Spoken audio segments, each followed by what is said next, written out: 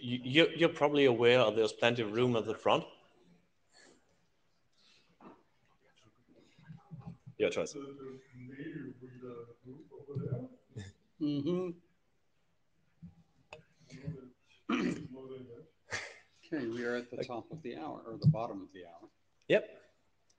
So, uh, hello and welcome to the uh, to the meeting of the CBOR Working Group at IETF 118. um, my name is Christian Amsüss, this is Barry Leiba, and we will uh, guide you through this, uh, this evening. As this is an IETF meeting, the note well applies, so please be aware of any IPR and general politeness concerns. Um, you've seen this probably a few times already, um, but if there are any questions, come to us or the Ombuds team or whoever would be responsible there. Um, as we have both local and remote participants, um, please let's use the Meet queue, um, but we're a sufficiently small group that if there is some direct responses, um, feel free to jump the queue if there is like situation where a direct response makes more sense than, than going a full round trip. Uh, also, please be reminded to sign in via Meetecho if you're, if you're uh, local, because this is replacing the blue sheets. Um, we have a rather short agenda for today. Um, first is um, me and us talking. Mm-hmm. Um, then we go through the list of documents that are like not fully for discussion today, but more um, we, we want to have everyone on board with the status they're in. We'll have two presentations on packed CBOR and on uh, one of its, or, um, one possible application of it being uh, the DNS format for CBOR. And then I've prepared a short summary of the discussions that are going on and the developments on uh, deterministic profiles for which we should have enough time to um, continue with a bit discussion uh, starting from that. And dates for interim calls uh, throughout the IETF are um, more for, for the AOB section. Uh, so first question, is there anything that we should add or remove or alter on this agenda?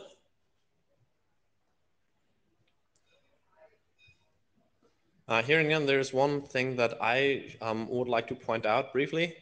Um, that is that uh, JSON NTV um, has been uh, discussed in dispatch, and while it has not been dispatched in our direction, um, this is some. There is a thread on the mailing list um, on this, and please have a look at this and see whether there's like any input that this working group can give, because I think there are there is good expertise in the in the general topic here.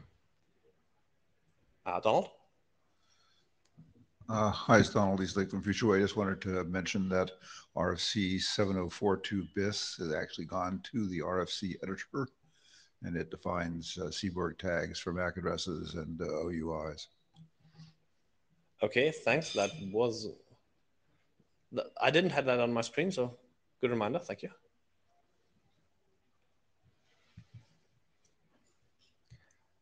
Okay, um, that being said, uh, on the documents.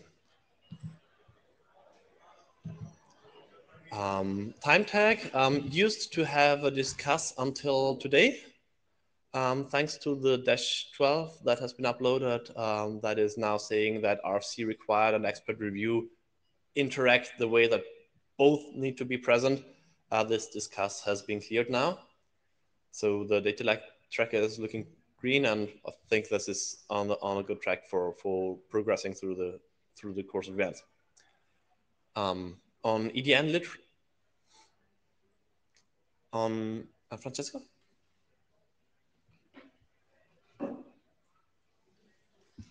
Yes, uh, Murray has cleared his last or the last blocking comment, so I just need to take a quick look and then I can press the button and it's done. Awesome, thank you.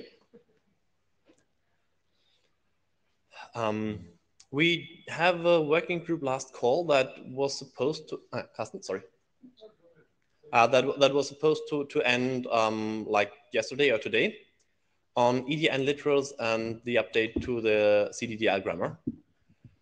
Um, I've have I've not heard anything on the mailing list um, on either of those.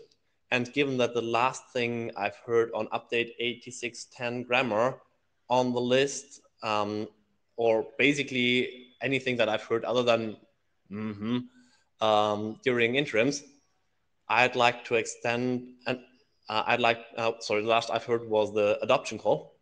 I'd like to extend this working group last call for one more week and urge the working group to send feedback there. And this doesn't need to be a full, like, um, several components review going through all this and this and that. If you've looked at it and you think that it is important and it's done, um, two or three line mail will be all that we need from a few people. And then we can be more confident in making sure that this is the consensus of the group. Yeah. Carsten? If uh, somebody needs help with that, I have some slides on that that okay. I would like to show in a minute or two. mu- much appreciated. Um, yeah, um, speaking of um, individual slides, um, let's do a real change here. Change deck to cheers Okay. slides. Um, Shall I, uh, we yeah yeah just plug yeah just plug it in here and it Okay. will. Chances are it works. Ah, wrong deck. Sorry.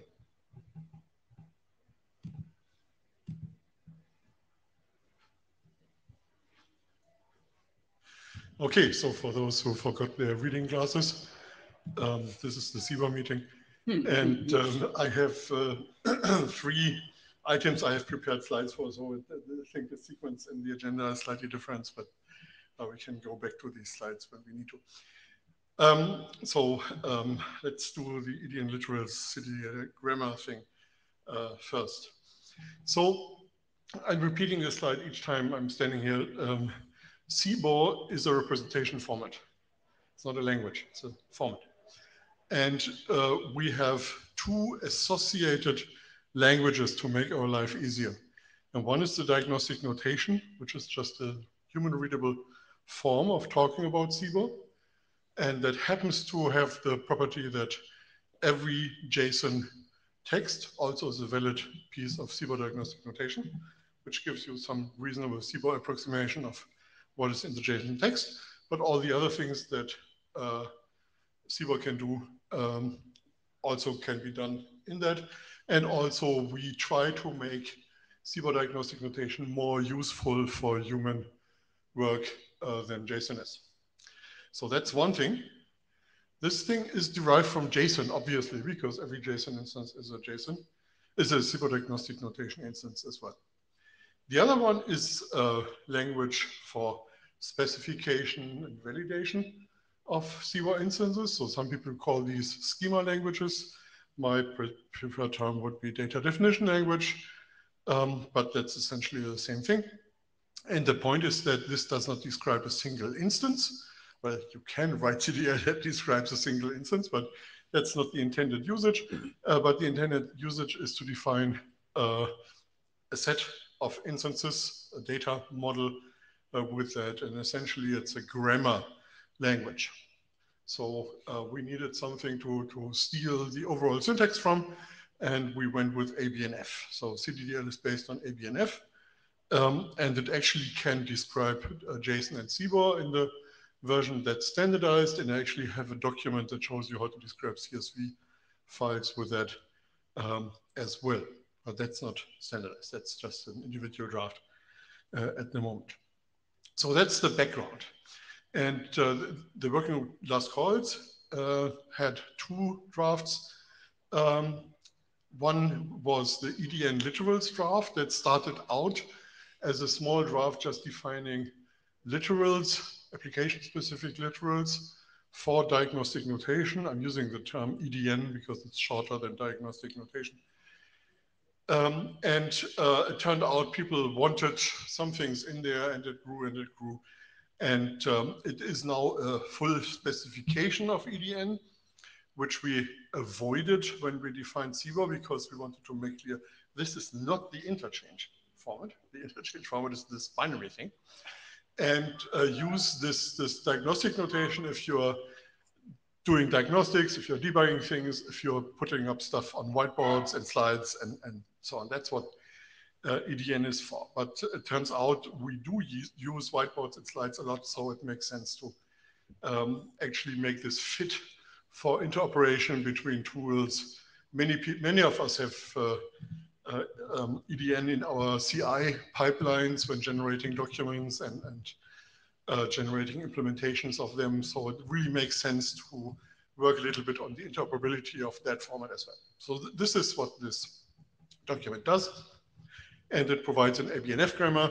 And um, I actually have an implementation that directly uses that ABNF grammar. So the, the grammar is actually, um, to a certain extent, verified. I don't have all the EDN instances out there in the wild, but uh, if, if you want me to check one, send me one, I do that. So that's this document. And that has been recently completed. I got a lot of feedback before the working group last call, so I'm not surprised that there's not a lot coming in during the working group last call. Uh, but uh, please do have a look at it. There's always things get, that can be done better. The other one is the update 8610 grammar. Uh, probably should have used CDDL in the title and not 8610. Um, so CDDL was defined with an ABNF in the original document in, in 8610, uh, but we made some mistakes. And uh, this document in particular addresses three errata reports and has some, some minor other fixes, some of which are quite useful in conjunction with the CDDL, CDDL2 uh, work. So this would be a good time to close the thing and uh, be done with it. So the, the explicit job of the update 8610 document is to update RFC 8610 and make it fit uh, for the next round and get rid of the errata. Um, so that, that's mainly what I wanted um, to say, just as a. Sorry. Yeah, sorry, wrong focus. Perfect. So, whoops. Uh, skip one. Um, yeah, so um, I think that's what I just said without the slide. Sorry about that. Um, so uh, update 8610 grammar is, is kind of, it would be nice to finish this now so we can put CDDL2 on top of that. EDN literals is not urgent. But the problem with things that are not urgent in the IETF is, is that they never get done. And uh, let's try to finish it this year. Um, so just as a random idea for the next round, uh, EDN Literals comes with a registry for application types. And I just want to uh, um, initiate a process in your mind. Uh, we just were in a COSE working group meeting. And people, of course, had lots of EDN, uh, EDN uh, uh, examples on their slides. And typically, these examples used text strings where they really meant uh, enumeration values that stand for these text strings. So one um, application-specific literal that we could define if we want to um, is something called E or enum, E for enum, uh, that you can write to express. Um, I'm using the text form here, but really think the enum value that we have assigned to that. So th this is not useful for, for actually processing this piece of uh, diagnostic notation unless you have a little cheat table at the side. Um, but it's still useful as a slide notation. So if you want to make a slide and just don't know what number is going to be there, uh, put it with the E um, application specific um, extension and be done with this. Now, the nice thing is this is a registry, so I can just write up a short document. Um, well, first I have to find a designated expert for that, but once that is done, I can write up a short document um, and uh, this becomes part of, of EDN. Um, uh, so yeah, just, just as an example of what we can do with uh, EDN if we want to. Okay, I think that's about all I wanted to say. Um, so that would mean that we would ask the next, like ask for questions here and then go for the next speaker. So please don't walk away. Um, questions, comments? Not everyone at once. Okay. Yep. So thanks for the update there. Um, then I'd say let's move to the next block, which is um. Okay. So you don't have to have to give me You do have slides, okay? Good. Okay, CBOR package. Uh, we have been working on this for a couple of years, and uh, we haven't had a lot of discussion in the working group uh, around this, but we have had a lot of discussion um, in various fora in, in the GitHub repositories um, uh, and so on. Um, this is not quite ready for working group last call, but getting uh, close. So let me quickly explain what CBOR packed is. Um, when we started out the CBOR work, everybody told us, why don't you use compressed JSON? And uh, well, the answer was it doesn't have the data types we need. But the other answer is that doing something inefficiently and then it, applying compression to it to, to getting it smaller, that, that's not necessarily something that your temperature sensor wants to do. Um, so that's why CBOR was created. Uh, but we still have some redundancy um, in CBOR data items. And making use of this uh, redundancy um, is, is a very good thing. So uh, we looked at packing CBOR, which is not the standard text-based compression, but it really is meant to allow in-place use of a packed CBOR data item from an application. So the, all the structure uh, really stays uh, directly usable. Um, it just has a few pointers that no longer make it an actual tree. It's more like a direct, directed acyclic uh, graph. So to do this, um, we have two uh, re relatively well separated elements. One is building reference tables, so that, that those pointers actually point into a table. And um, these tables need to be built. And the second one is referencing things from the table in a packed or rump document, uh, as we call it, that we send uh, together uh, with information about the tables. Now, the um, packed uh, referencing, that is pretty much ready. We haven't had a lot of um, change there recently, and it seems this works. It does have a few innovations. These function tags are something that nobody has done before in, in this way. Um, and it's actually an extension point. So like we can add extension to EDN later, we will be able to put things into the reference uh, set uh, later. And what the, the reference set um, assumes to find in the tables is share, shared items. These are complete data items that are shared, they are, that are used at multiple places um, in uh, the CBOR data item, and argument items, usually for concatenation, but there are other operations you may want to do with an argument item.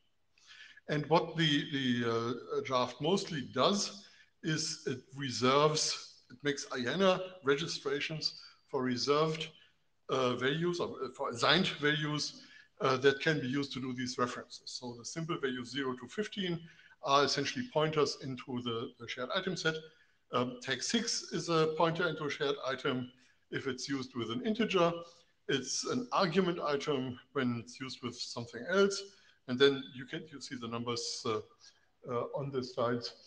Um, so there, there is a limited set of tags that, that is being um, allocated, but uh, the set, because the, the tag um, namespace is uh, 64 bits, of course, we can provide a lot of them. Uh, it's very unlikely that somebody will actually use tag 28704, uh, but um, it, it's there to avoid artificial limitations. And finally, we have the function tags, which do something interesting that, that you can uh, look up. And the other part is this number one in the list I just had, the table building. And that table building is likely to be rather application specific. So uh, about 20 years ago, I worked on a, a, table for a constant table that was written up in an RFC uh, for SIP So the, the, the SIP protocol is a chatty text protocol. And uh, if you want to run this over tight air interfaces, uh, you want to compress it. And um, we had a, a static RFC-defined table for that. Um, so building tables is, is, an interesting process that can be done ahead of time. Uh, then you would just have a reference to such a table in your document, for instance, by using a tag, the definition of which says use this table. Um, or you can uh, put the table into the data item together with the rump, uh, with a part that does the, the table references. And to, to make CBOR pack useful right away, the batteries included uh, concept, um, we just put in two tags here that do, do a simple basic table setup and a split basic table uh, setup. You can look up the details um, in the document.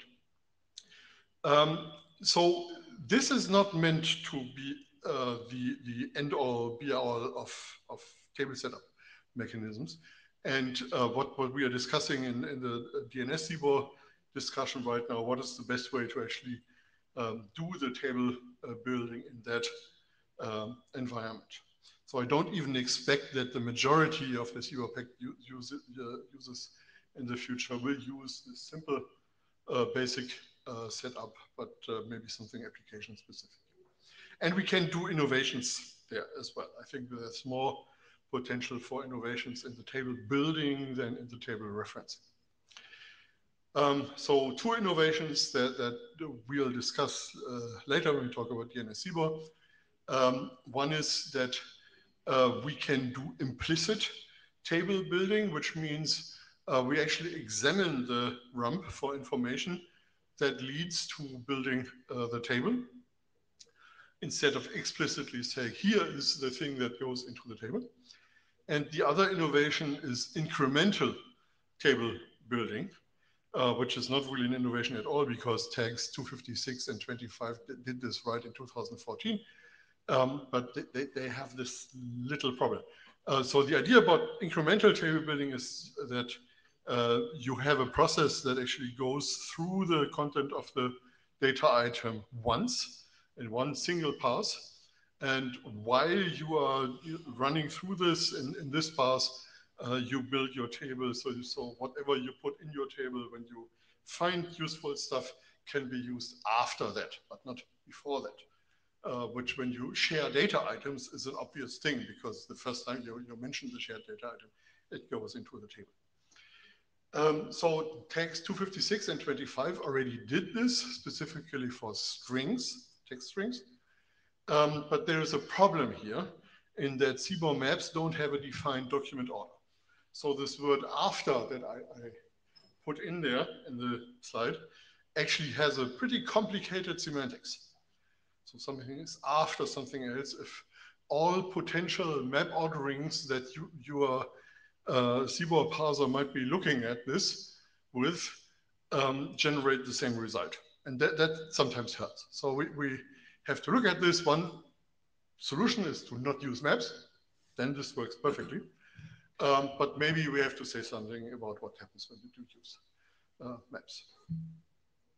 Um, so my plan is, oh, I forgot to send you the new slides. There's a fourth item in the plan. Um, the fourth item is there are still three outstanding mails in, in the uh, working group mail repository that have some detailed comments that we have to process. One from, from Bert Harris, one from Maria, she has a Czech last name that I can't remember, and one from Christian Amsüss. And um, yeah, these need to be looked at.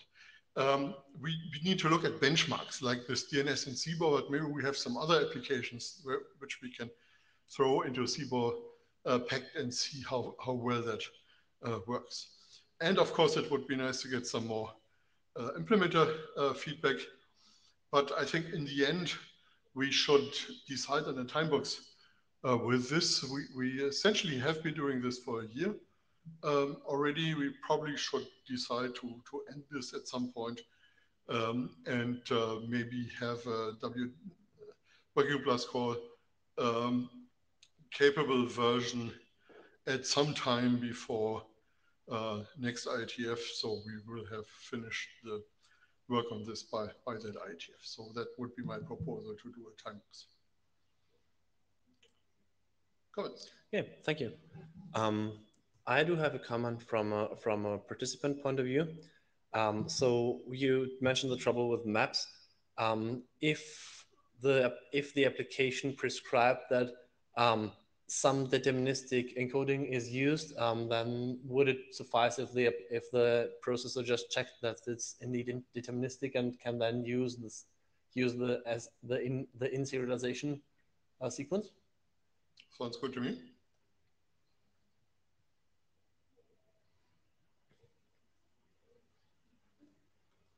Questions, comments, suggestions on the time frame?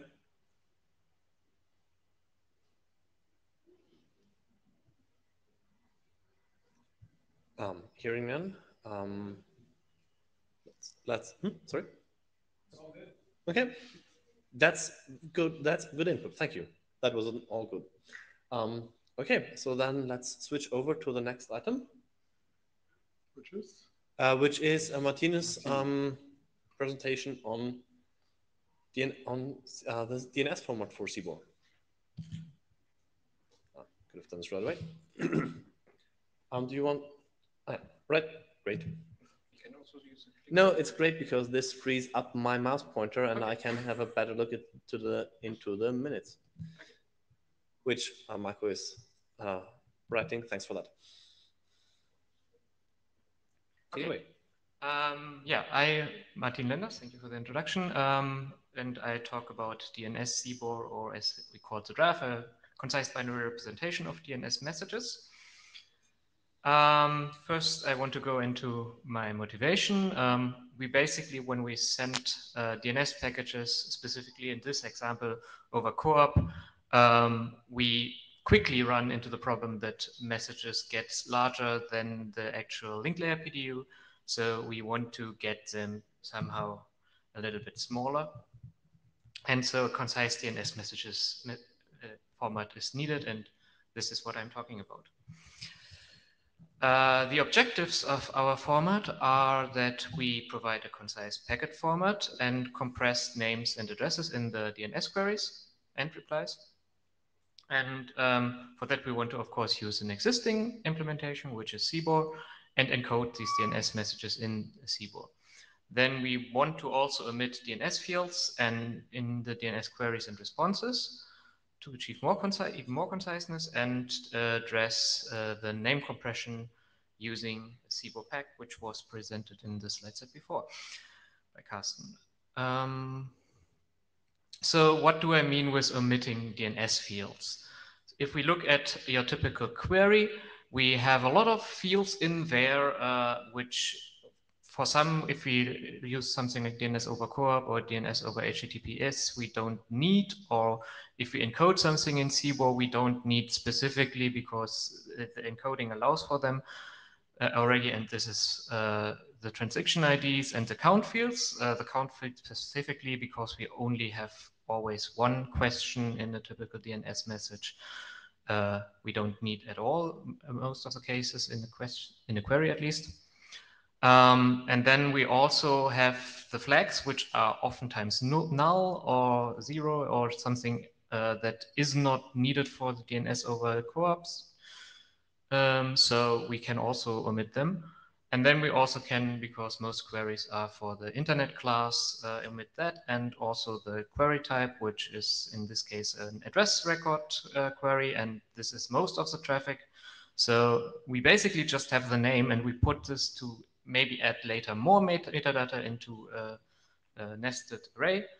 And uh, what do I mean by that? For example, if uh, we still want to, for example, query an A record, we just append this to the list. Or if we want to ask for a different class, we just append this to the list again. And for the outer list, we can, for example, use if we still want to use flags or we want to add additional resource records, for example, for options, then we can use that. And for the response, uh, we basically also can ignore all the stuff that we used for the uh, already ignored for the query, query format. Oh, sorry. Um, and uh, we also uh, can omit the name uh, this in the responses as well, of course. And we also can omit the names because uh, we because we have used DNS over CoAP and DNS over HTTPS, we can map the queries to the responses. And so we don't uh, need the name actually because we have this information somewhere in our transfer protocol already.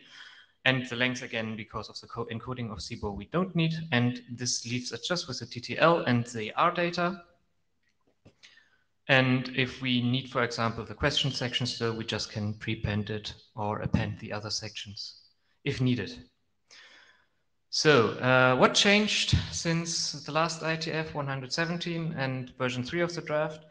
We added a note on the representation of more structured R data. So if we don't use binary uh, representations or stuff like that, uh, we provided a format descriptor for uh, EDNS option record, pseudo records added an implementation section, um, simplified the CDDL uh, for, to a more idiomatic style, and did other cleanups and housekeeping, and removed the DNS transaction ID because, as I said previously, we don't actually need it. And there was also in a previous version the representation of our data in a, as an int, but that basically just led to more problems than uh, was really necessary. So uh, I decided to remove that.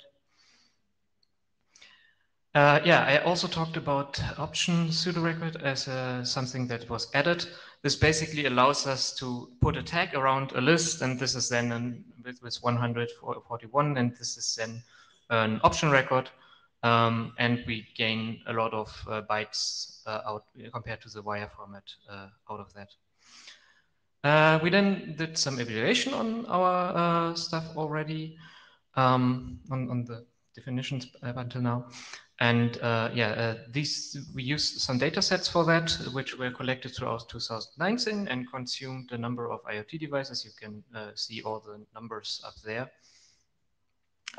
And uh, through our implementation on that, uh, which we did last hackathon at the IETF 117, and uh, put it unpacked and packed into that,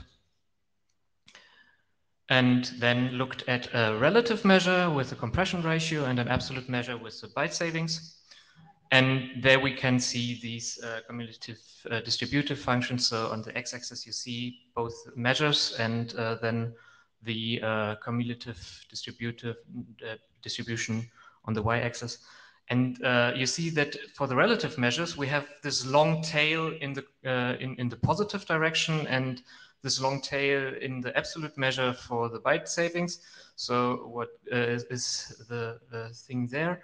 Uh, for the compression ratio, actually, um, this is uh, just an empty response. Uh, so uh, we basically threw everything away except in this case the flags and then added some empty lists. Um, for, and this is also why the unpacked format is larger uh, smaller here than the packed format because we add this extra list for the uh, packing table in front.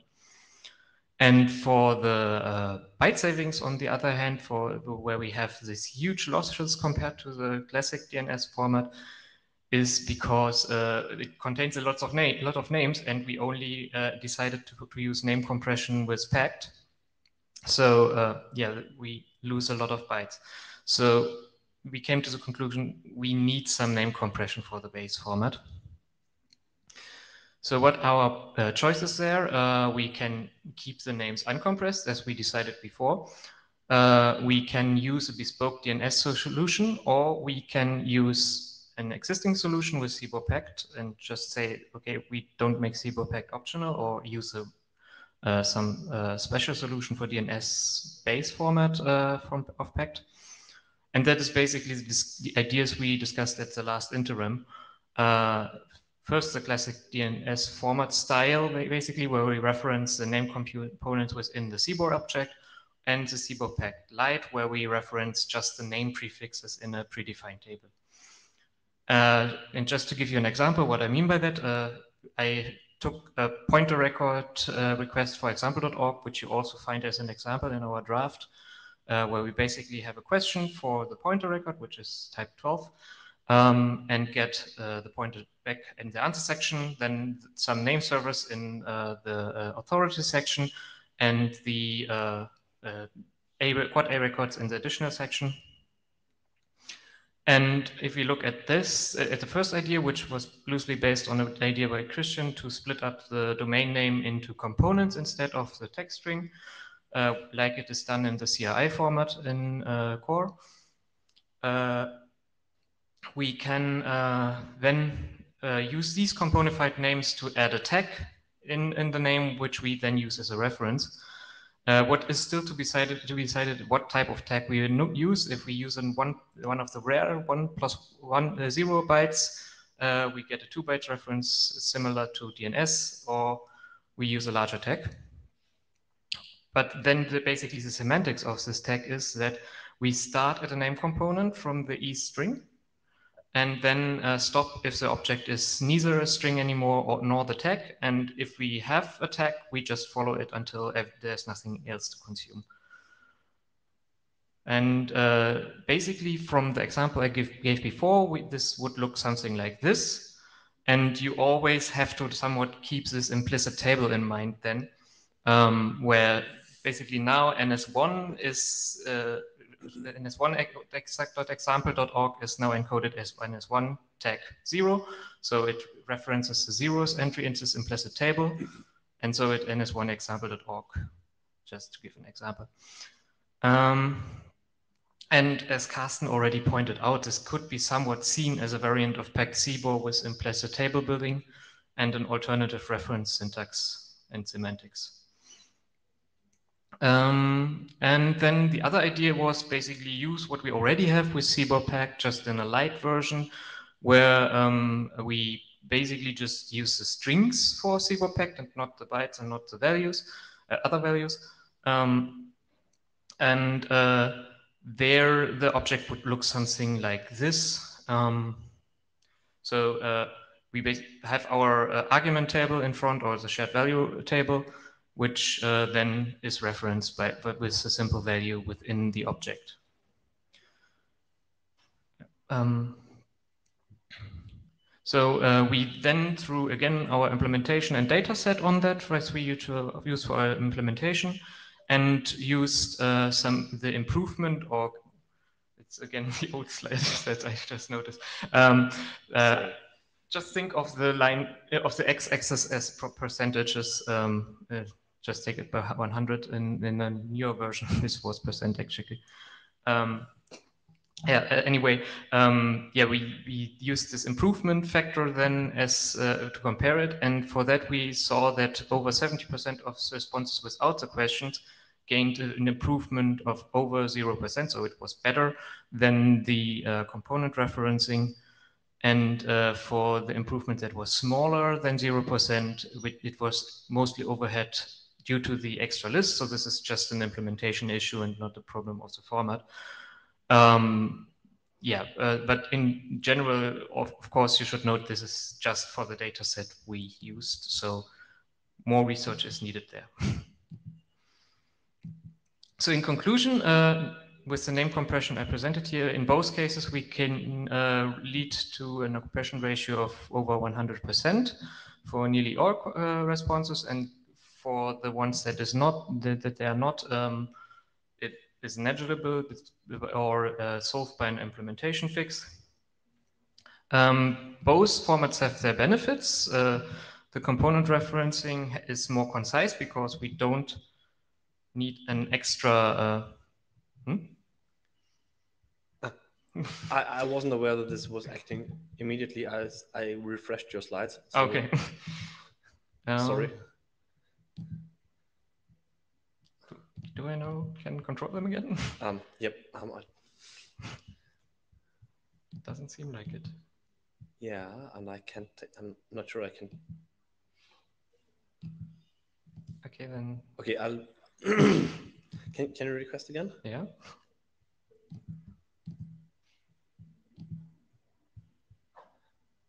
And I'll jump you to the end. Okay. Oh, I can I can do that. Sorry. Can. Um... Oh, no, I need to progress to the very end again. Okay. Okay, uh, so uh, the benefit of uh, component referencing is that it is more concise because it doesn't add any byte overhead to the to the extra list. It is simpler to implement because we don't have to count the occurrences. We just build basically the implicit table while we are scanning. Um, it is more familiar to DNS implementers because it is more similar to the classic DNS uh, name compression. And the benefits of Pack Lite is that it's, on the other hand, more familiar to CBOR implementers and uh, it doesn't need any new definitions of a reference syntax or a new table buildings uh, mechanism and just uses what is defined in the CBOR Pack draft. And it is more efficient when it comes to the uh, bytes actually sent over the wire because more of the responses we saw uh, were made smaller compared to component referencing. So the question I have to the working group is basically which way should we go or do you maybe also have any other ideas? And as Carsten proposed, maybe we should also think about having the implicit table building for CBOR packed in general. Thank you. Thank you. So what is the way?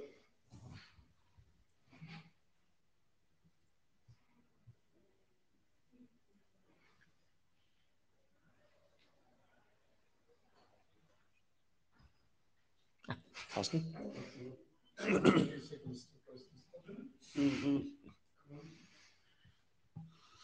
Yeah, first of all, thank you. That, that is exactly the kind of work we, we need in this working group to make good uh, decisions. Uh, Christian, if you can go back to slide 42, oh, 42, which has the number 14 on it. Hmm, hmm. Um, yes. It's a Meetecho bug. Yeah, that was it. Exactly. Um, so I think that this, this is a really good way to uh, think about that. So uh, the, the, implementation has this implicit uh, table in mind. Um, and that actually looks a lot like the, the normal CBOR packed uh, tables. And the only thing we would really need to add uh, to CBOR packed is a slicing reference. So you, you may not be aware what, what, uh, what, what slicing means here, but um, there are various programming languages, Clojure, for instance, or Scheme, uh, that, that have a way where you can insert a variable that is an array uh, into a literal that is becoming an array and essentially splice the thing. So you are not putting an array into the array, but you're unpacking the array into the, the newly created array. And that, that's pretty much what's happening uh, here. So maybe we should just think about adding a, a slicing reference to, to CBOR packed and uh, also um, about uh, having some text about the implicit, and this actually is incremental as well, uh, incremental uh, table, table building uh, processes. So, so you can just use these words instead of defining uh, them um, for this specific application. But apart from that, this is really great. Um, of course, I'm, I'm uh, patting myself here a little bit, but uh, of course, the, the, the, work always is done by the bright young grad student and not, not by uh, the, the, people supervising that work. Uh, so thank you. Um, so what did I want to say? Um, brief, question, brief question from, for clarification. Yes. Um, are you saying that um, with subtle extensions to packed, basically what is shown on the screen could just be packed? Yes. Okay, thank you. Okay. So uh, the one thing I want to say is that um, these, these um, beautiful CDF um, cumulative distribution function um, graphs, of course, are based on a corpus of uh, DNS messages. Um, and as always in these papers, the, uh, what we have can be debated. And uh, a typical issue um, in, in the ones we have is that they are taken uh, from some form of implementation, usually some, some lab um, implementation, Um, and uh, yes, it's it's a million DNS packets, but it's a million DNS packets that are essentially all coming from the same application, the same uh, uh, software running everywhere, and so on. So um, th these numbers are not perfect, perfectly uh, valid. They, they, have a limited um, uh, quality of expression. So getting more uh, data like this would be really useful. So if anybody here is in the room and has some captured uh, DNS data, we really would like to talk to you. Yes. Thanks. Okay, any questions? Donald?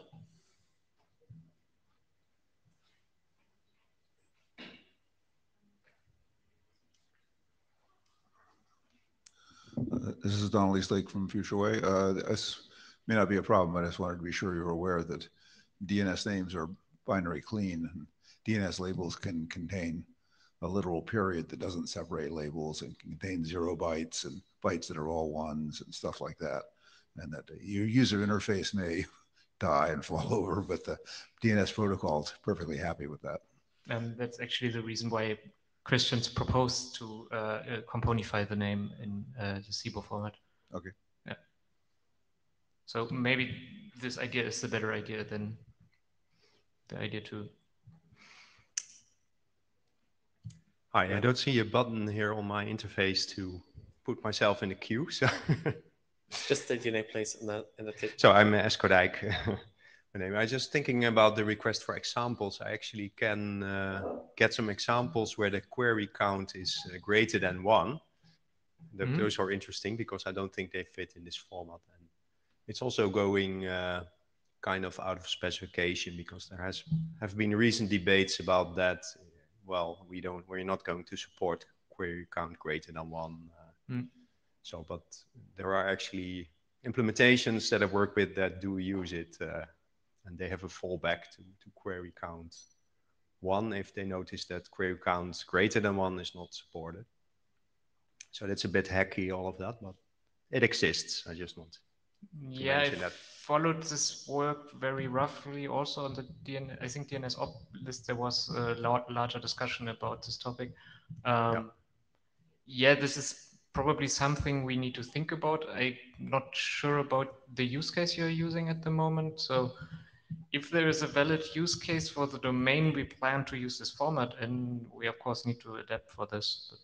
But Yeah, actually, the, the use case it, it was already uh, kind of pre-decided in, in a side meeting uh, yesterday that there was actually a better way of doing it. So I think the use case was to request uh, an additional uh, record, like uh, SRV record and the text record for the same name. And we agreed that that's maybe better done with uh, using an EDNS option that you add, like say flagging, okay, I want these additional types for the same name. This- And that has some better properties, especially the handling by, by legacy receivers that don't know the multiple questions Can- thing. I, I, I'd like to suggest that we take that offline because we Yep. are running into the into the last quarter into, into the last 12 minutes, and Okay. I'd like to um, make some progress on the on the packet format as well. Agreed. But yeah. I hope that was the last comment from the room. So, and any any more, please send them to the list. okay. And thanks for thanks for Thank showing you. us. Um, I'll go back to the chair slides briefly because this is a um, this has been a topic that has seen uh, seen um, quite a few mailing list threads, and I'd like to summarize a bit here before we get into um, before I give the floor to Carsten, who has prepared slides here. Um, so the um, this this all started from the requirements of of the uh, um, of the Gordian project.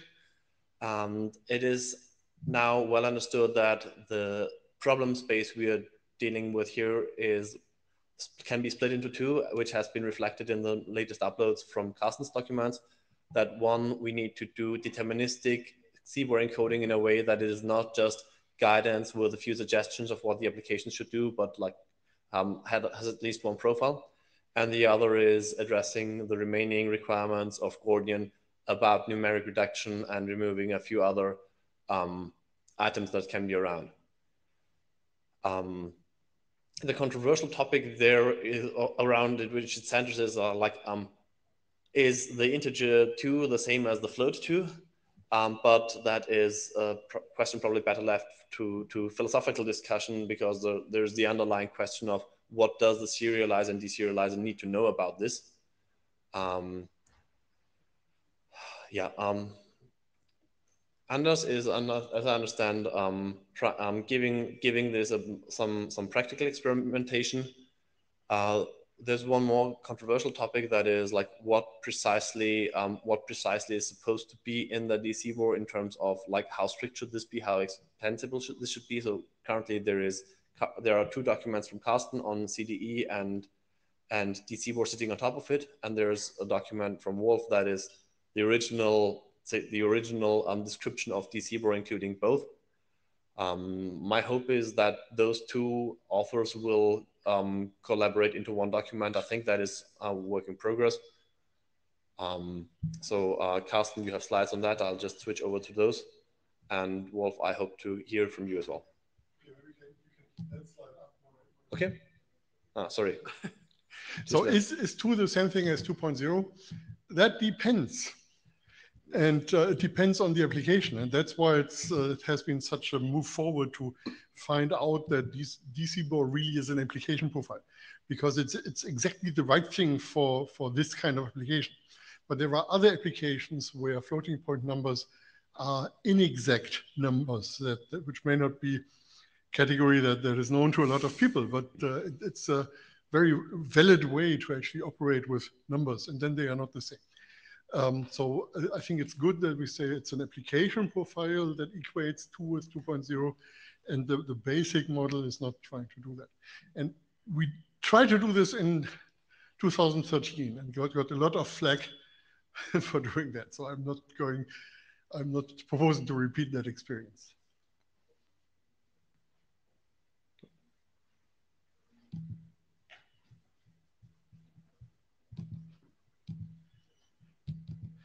Yeah, and, and while we're waiting for the slides to come up, um, the, the part about extensibility in, in my DCBOR uh, draft really are thought experiments. So they don't have to be part of the final specification because the specification is not making those extensions. Um, but I think it was good uh, to, to look at those thought experiments and see that they don't cause some, some any unwarranted confusion or complexity. Okay, just to, to uh, say what um, th there is a uh, yeah, um, Wolf is on the in the queue. Yeah. Um. Yep. Um. Well, just Wolf. Wolf, please. Hi, uh, Wolf McNally, Blockchain Commons. And uh, I just wanted to say that the, the, you know the philosophical question of is two equal to uh, floating point two, you know, isn't relevant to most people and shouldn't be. And um, CBOR is you know fine as it is when it comes to the way it represents things. Um, and uh, the goal of DCBOR is a bit different in that it's trying to uh, address a specific kind of problem space. Um, and uh, the numeric reduction of DCBOR is um, one of our uh, you know initiatives to do that in that problem space, which is to um, uh, take things that are semantically equivalent and give them equivalent encodings uh, or, or, identical encodings. And um, you know that is not one size fits all. Um, it's never been a proposal that it kind of become the standard in the CBOR community, uh, but um, it has proven its utility in our own work, and I think that the community could benefit from it as well. So, um, and I agree with Carsten that the that DCBOR uh, is a profile of now CDE, uh, which is a which is on top of CBOR, and uh, and that we should merge our documents. Um, and uh, um, you know, uh, uh, in general, I, I, like the direction that that we're taking this, and I would like to also see uh, DCBOR at some point beyond the standards track. So that's all I have to say at the moment. Okay, thank you. Um, so just to, to remind you of what the underlying problem is, uh, deterministic encoding is a way to make sure that the same data are encoded the same way by everybody like DER for ASN.1, if you remember that one. And um, there is um, a spectrum between things that the generic encoder can do and the application actually needs to do. So the application has to make up their mind of how they do their floating point commutations and how they represent times and all this stuff. So this, this cannot be done by the deterministic encoding mechanism in the generic encoder. So 8949 left a number of details to the application and didn't quite get the cut right there between the things that were left to the application and that, that really should be part of the, the fundamental uh, uh, functionality. Um, so the, the problem is that people who write generic encoders these days don't have quite the guidance they need to put a deterministic encoding function um, into this. And this, uh, again, leads users of those libraries to think that the uh, deterministic encoding mechanism of CBOR is not defined, uh, which it is, but it leaves some things to the application, and uh, we, we, need to fix that. So the, the idea is to uh, write a common deterministic encoding profile, uh, or CDE in short, that nails this down in a way that is compatible with most reasonable application profiles. I mean, sure, um, yes, there, there, may be ex uh, exceptions, uh, but uh, we believe this, this covers not 80%, but more like 99% um, of all applications. And uh, this document, which, which I, a draft which I submitted uh, during this meeting, um, this also defines the term application profile and, and DCBOR would actually be one of these application profiles. I don't expect there to be 10 or 100 application profiles because the, the number of various ways of looking at data is somewhat limited. But I, I mentioned the, this thing with exact and inexact numbers that, that really is very ingrained in, in some areas. So maybe there will be two but maybe the, those people don't need one right now, so we will not get to it. So um, my plan would be uh, to be really fast in adopting the common profile. Um, I submitted that as a BCP just to, to get the discussion going, whether it should be the BCP or a standards um, track. I think the, the, the, implementers in the end won't care, um, but still we should sort this correctly. Um, and uh, then um, I think uh, Wolf and I had a little bit of uh, exchange already uh, on how to merge the two um, DCB documents that, that we then have. Um, so I split off the, the DCBOR stuff into a separate document. And of course, Wolf has one with the whole motivation and, and so on. Uh, so I, I think uh, these two documents can be merged very profitably. And we also can get rid of the extensibility aspect because that's not intended um, for uh, DCBOR. So we should be able to do this in, I don't know, maybe the next month or so. It shouldn't be uh, too hard. And uh, then we can look at that document and uh, find out whether we want to adopt it and uh, whether we want to put it on the standards track. But the CDE document is there. It's out there. Uh, please have a look at it. Um, it's not very long because there, there isn't that much to be fixed, to be nailed down from 8949. 8949 is pretty good already. Um, so please look at that, and then we need to decide whether that's a BCP or a standard track uh, document. That's all I have. Okay, uh, thank you. Um, there's one question that I want to add forward, like to the gen to the general room already. Um, especially especially for those who have read the document, but also for those who have followed the discussion. Um, would you support adopt, adopting this even without the uh, kind of even considering that BCP or standards track is like to be decided later? Um, I'm starting a brief utilization here.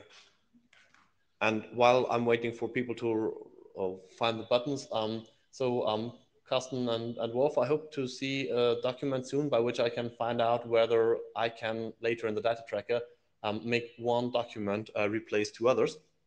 And I'll be happy to do that. Awesome. Yes.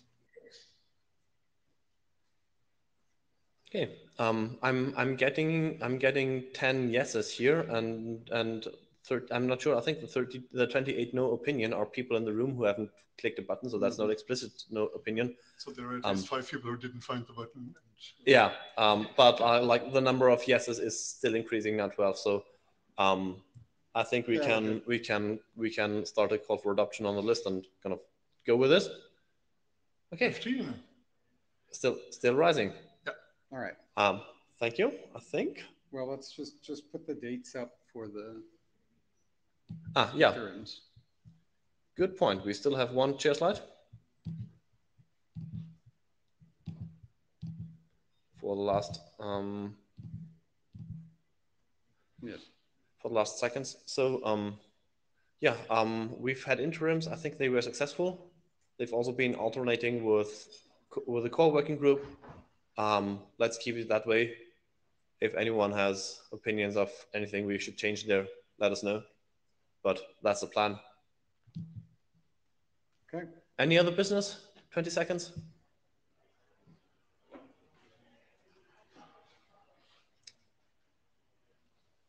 So just in case you can't remember which week has the CBOR ones and the core ones. It's the same as everywhere. CBOR is odd. Yeah, but that, that change that, that, that change that changes every year. No, I said the wrong thing. Hmm. Core is odd. Core is odd. CBOR is even. Which week numbers are you using? I, ISO ones. Okay. Thanks everyone. See you on interims and then Brisbane.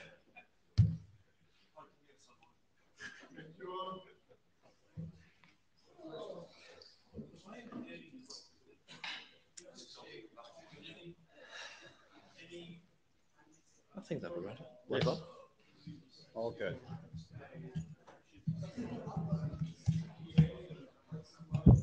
And yeah, this is why this was. Yeah. Oh, you can